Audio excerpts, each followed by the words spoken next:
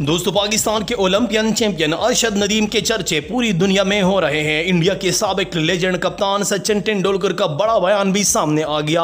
दोस्तों, सचिन तेंदुलकर ने भी पाकिस्तान के ओलंपियन चैंपियन अरशद नदीम की तारीफ़ की। दोस्तों, सचिन तेंदुलकर पाकिस्तान के ओलंपियन चैंपियन अरशद नदीम के बारे में क्या कहते हैं? सचिन तेंदुलकर ने अरशद नदीम के लिए कौन सा बड़ा ऐलान कर लिया? पूरी वीडियो आपके साथ शेयर करने वाले हैं। लेकिन अगर आपने अभी तक हमारा यूट्यूब चैनल सब्सक्राइब नहीं किया है तो हमारा यूट्यूब चैनल सब्सक्राइब कीजिए और इस वीडियो को लाइक कीजिए। दोस्तों, यकीनन वो कहते हैं कि किस्मत भी बहादुरों का साथ देती है। अरशद नदीम जो कि एक गरीब घराने से ताल्लुक़ रखता था, वो ओलंपियन चैंपियन बन गया।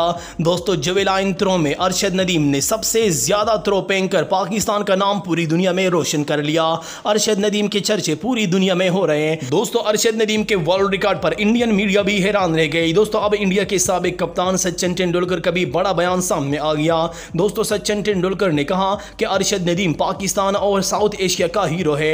अरशद नदीम गरीब घराने से ताल्लुक रखता था, लेकिन उन्होंने पाकिस्तान और पूरी दुनिया में साउथ एशिया का नाम रोशन कर लिया। काश अरशद नदीम भी भारत से ताल्लुक रखता।